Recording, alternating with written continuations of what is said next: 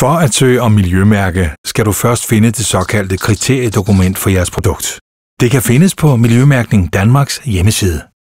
Kriteriedokumentet forklarer, hvilke krav produktet skal opfylde, og hvilken dokumentation I skal indsende for at dokumentere, at I overholder kravene. Når I indsender ansøgningen, starter en proces, hvor Miljømærkning Danmark gennemgår dokumentationen og vender tilbage til jer med relevante spørgsmål og anbefalinger. I de fleste tilfælde er det nødvendigt at supplere dokumentationen, og nogle gange skal produktet justeres for at kunne leve op til alle krav. Men i så fald kan Miljømærkning Danmark hjælpe med gode råd til, hvordan dette bedst gøres. Miljømærkning Danmark kommer også på besøg på jeres virksomhed. I den forbindelse kan I få gode råd om, hvordan I får mest mulig gavn af det nye miljømærke. I kviktesten her på siden kan du se de væsentligste miljømærkekrav for en række produktgrupper. Testen kan hurtigt og enkelt give dig en fornemmelse for, hvor meget eller lidt I mangler for at kunne ansøge om et miljømærke.